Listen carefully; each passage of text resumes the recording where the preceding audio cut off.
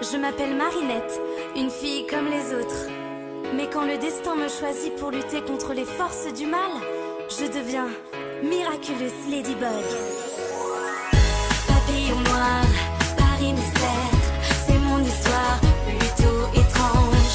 La magie noire me désespère et le chat noir n'est pas un ange. Ah, ah, ah, amour chassé croisé.